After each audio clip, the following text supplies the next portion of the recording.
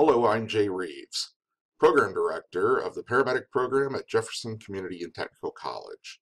First, let me thank you for being willing to be a preceptor for our paramedic students in the spring of 2017.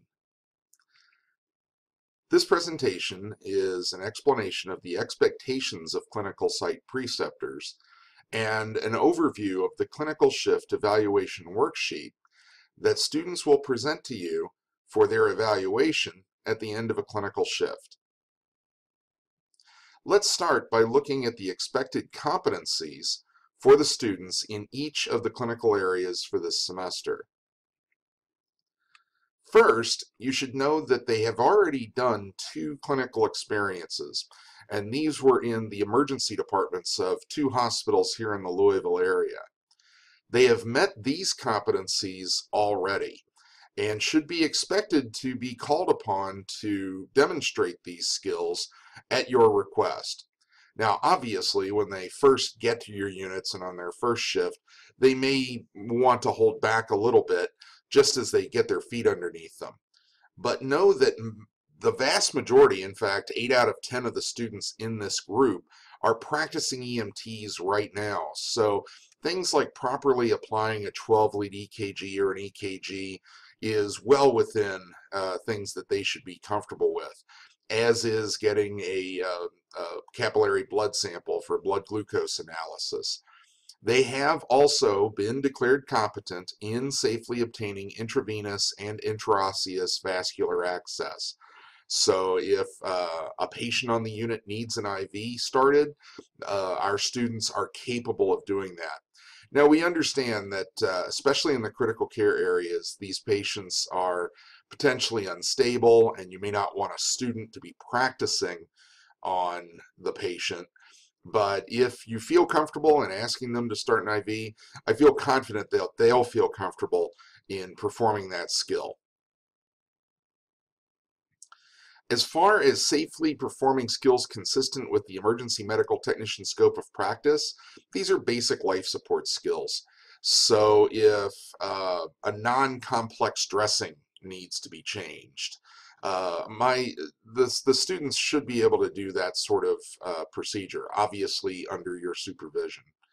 Um, CPR, bag valve mask ventilation, these are all things that they are certified to do by the Commonwealth of Kentucky. So let's move on to competencies for clinical experience three for this semester. First, we'll look at the operating room. In these slides, the uh, competencies that are highlighted in gold are the ones that are the focus in those areas. And as you can tell here in the operating room, we are pretty much focused on airway and uh, airway maintenance procedures and respiratory status monitoring. So if you have a student in the operating room, that would be, uh, these areas would be the ones that uh, we want to focus on. Now, know that the student should have this documentation on them, and if you would like to ask for a copy, they should be able to provide that for you.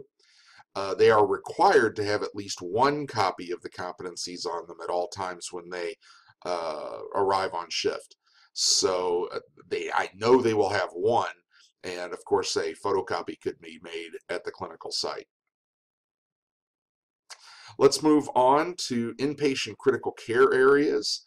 Uh, a few more focus areas here. Uh, generally what we want uh, the students to do in critical care areas is to perform assessments and history taking of patients with complex medical problems. So um, a little more focused here on interacting with the patient if possible, uh, observing uh, your uh, interactions with the patient in the critical care setting. Our students uh, need to be able to determine vital signs, including ABGs, but actually obtaining an ABG through an arterial uh, arterial access is outside of their scope of practice. Uh, the focus is on understanding what the ABGs mean to the patient's overall physiology at the time.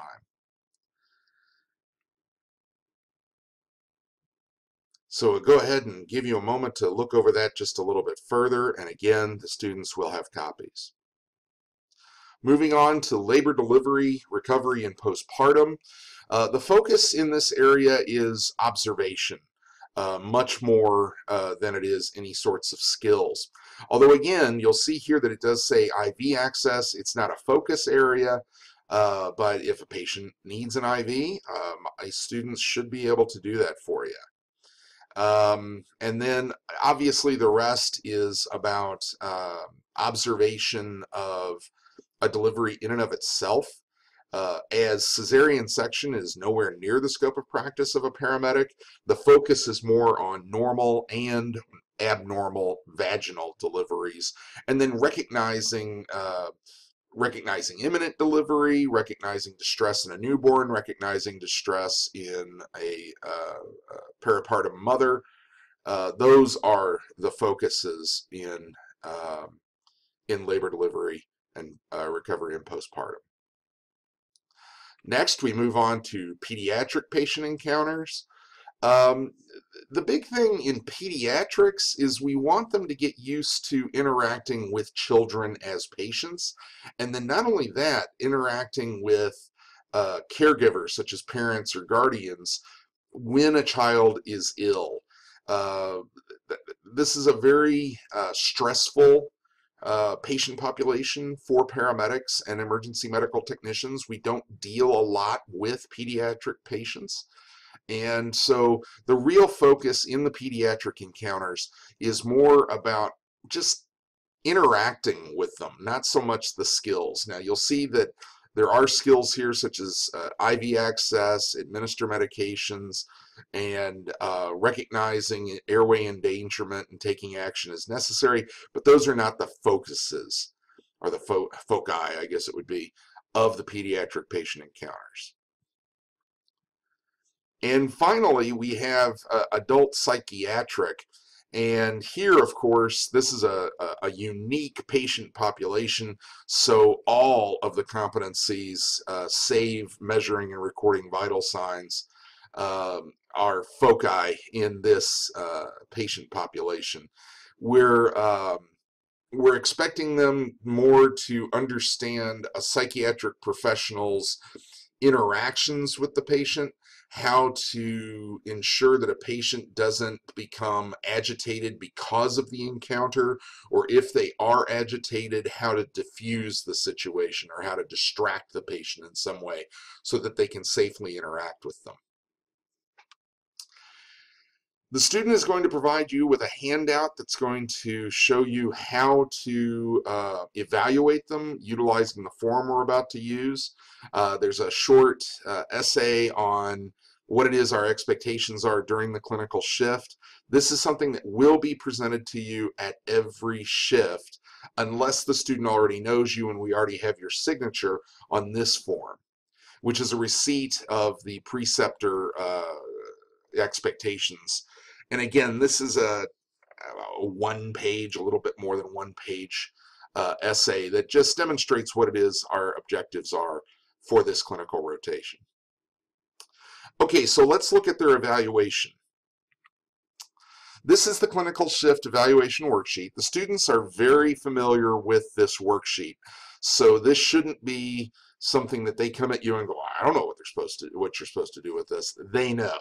Uh, they've used this already for two clinical rotations and are very familiar with it. But I want to at least give you an overview of it uh, step by step through the uh, through the form and through the process. So first we'll look at in specifics the basically the demographic information that goes across the top. The student should fill this out on their own. If they have multiple preceptors on a single shift, each preceptor should be given an individual form. Um, that may not happen, but I'll try to emphasize that it should. You'll see going, uh, actually I can focus in. Uh, here we're going to go to the left towards where it says uh, the number one on the left. And you'll see that patient age and uh, gender are uh, go in the uh, left hand, the far left column, then the impression and differential diagnoses, level of consciousness, complaints, events, and circumstances, um, a summary of treatments rendered successfully by the student. Generally what they've been doing is they've been making them in bullet points. Remember that our focus here is on skills, not so much on treatment modalities. So if they start an IV, you'll see them make a little dash and they'll say IV, or if they attach an EKG, EKG, or if they interpret an EKG, they'll say interpret EKG. So uh, that's that's what we expect. Uh, in each one of the clinical rotations, once they get past their first shift, they get their feet underneath them. We want them to see uh, about three patients in the critical care area where they do something of a detailed assessment in a 12-hour shift. Uh, in the OR, obviously, it's going to be a case-by-case -case basis, but the focus there is on airway procedures rather than on assessment. So the, the the overall what what what you're going to see on this may vary from student to student, but obviously they'll be able to explain what they're doing there. Uh, going over to the right side of the form, these are the areas where uh, it's important for you to provide feedback. Uh, it's and I know this isn't perfectly clear, but the clinical objectives go from left to right there, and then you have an area to provide comments and to develop an immediate plan for improvement in the next contact that the student has. So now I'm going to show you the whole thing all the way across. And here it is, and this is a little clearer, although it's small. In that clinical objective areas where it says S on, in here I can bring up a cursor here, where it says S, that means they're they are evaluating themselves on a 0 1 2 scale and the P means preceptor. And I lost my I lost my thing. There it is. And the P means preceptor. So this is where you will provide your rating, and then you'll provide your initials here. As far as the patient contact type is concerned, ALS means advanced life support. If the patient has an IV, they're an advanced life support patient. If they don't have an IV, they could be BLS or a, BLS encounter if no advanced life support invasive procedures were performed. On the back of the form, there's more of an explanation, especially in the clinical objectives area. The clinical objectives include a patient interview and history gathering, physical exam, impression and treatment plan, skills performance, communication, and then the professional behavior objectives. And this is our affective domain. This is new to us. Uh, in it, well not completely new to us in emergency medical services initial training but we're focusing more and more on that we know we can teach a person to perform procedures there has been a recognition of a deficiency in our ability to be empathetic towards our patients uh, remember that our practice is wholly within the emergency realm so it's pretty much uh, things that must be done in order to save lives a lot of the time. But about 80% of our patient contacts are in a non-emergency situation.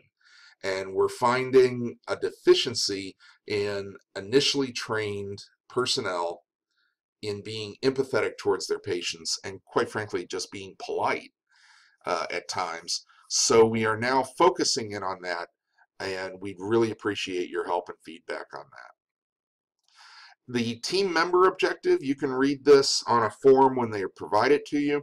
In these clinical rotations, our students are not expected to take the role of team leader. Team leader is something that is reserved for their capstone uh, uh, rotations that are in the field with a paramedic preceptor. So uh, at this point, you wouldn't expect them to take the lead in any situation. Um, although you might find that they do begin to take the initiative once they become comfortable in a particular area. Well, I promised this would be about 15 minutes, and I'm right at it. If you have any questions at all, don't hesitate to call me, Jay Reeves, Paramedic Program Director. My telephone number is on the Expectations of Clinical Preceptors form that will be provided to you. Thank you for your attention.